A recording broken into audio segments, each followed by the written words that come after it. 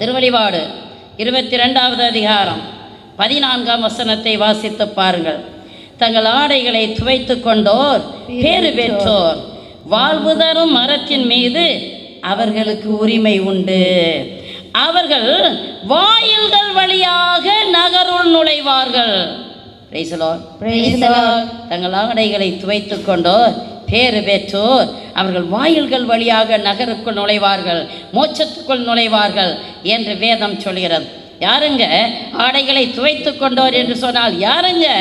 பாவத்தை வேரோடு பிடுங்கி எறிந்துவிட்டு அருணாதர் இயேசு கிறிஸ்துவை ஆண்டவரும் இரட்சகருமாக ஏற்றுக்கொள்கிறவர்கள் யாராக இருந்தாலும் சரி அவர்கள் வாயில்கள் வழியாக நகருக்குள் நுழைவார்கள் என்று வேதம் கூறுகிறது. தொடக்கத்திலே ஆண்டவர் ஆதாம் ஏவாளை படைத்தார். பிரியமானவர்களே படைத்தவர் அவர்களை பார்த்து சொன்னார் இந்த இன்ப வனத்தின் மத்தியில் உள்ள நன்மை தீமையை அறியக்கூடிய மரத்தின் கனியை நீங்கள் உண்ணாதீர்கள். அதை உண்கிற நாளிலே நீங்கள் சத்தியம் சத்தியமாக மறித்து போவீர்கள் என்று ஆண்டவர் சொன்னார். இந்த ஆதாமும் ஏவாளும் என்ன செய்தார்கள்? சாத்தானுக்கு கீழ்ப்படிந்து செய்யாதே என்று என்ன சொன்னாரோ அதை அப்படியே செய்து விட்டார்கள். ஆதாமும் ஏவாளும் இன்ப வனத்திலிருந்து வெளியே துரத்தப்பட்டார்கள். பாவமும் சாபமும் மரணமும் அவர்களை தொடர்ந்து வந்தது. ஆண்டவர் என்ன செய்தார்? வாழ்வின் மரத்திற்கு போகிற வழியை கெரூவின் கலையும் சுற்றி சுழலும் வாளையும் வைத்து காத்தார் என்று வேதம் கூறுகிறது. வாழ்வின் மரத்திற்கு செல்ல வேண்டிய வழி பரிசுத்தவான்களுக்கு திறந்திருக்கிறது. பாவிகளுக்கு அடைபட்டு கிடக்கிறது. அந்த வாழ்வின் மரம் தாங்க இயேசு கிறிஸ்து. அந்த இயேசு கிறிஸ்துவை நீங்கள் உரிமையாக்கி கொள்ள வேண்டும் என்றால் பரிசுத்தமாகுங்கள். பாவத்தை விட்டு விலகுங்க. Lord. திருவழிபாடு இருபத்தி ரெண்டாவது அதிகாரம். பதினைந்தாவது வசனத்தை வாசிங்க.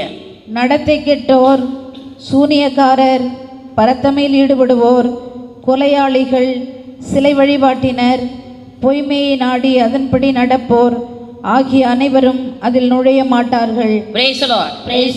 யாரெல்லாம் அதுல நுழைய மாட்டாங்களாம் நடத்தை நடத்த விட்டவங்க சூனியக்காரர் பரத்தமையில் ஈடுபடுவோர் கொலையாளிகள் சிலை வழிபாட்டினர் பொய்மையை நாடி அதன்படி நடப்போர். ஆகிய அனைவரும் அதில் நுழைய மாட்டார்கள். மாட்டார்கள் Praise the Lord. Praise the Lord. நீங்க இந்த லிஸ்ட்ல எங்கேயாவது இருக்கிறீங்களா? கொஞ்சம் அலசி பாருங்க.